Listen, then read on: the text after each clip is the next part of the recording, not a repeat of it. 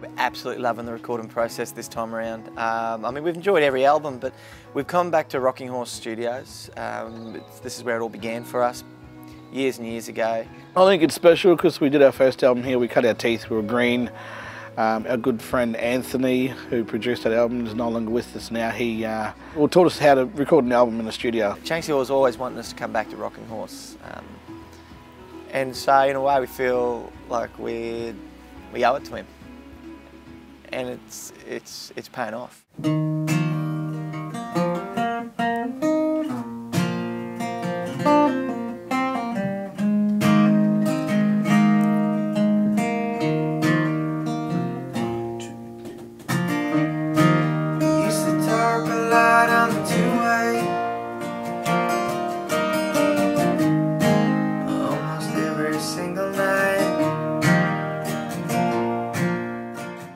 This is where we learnt to record an album.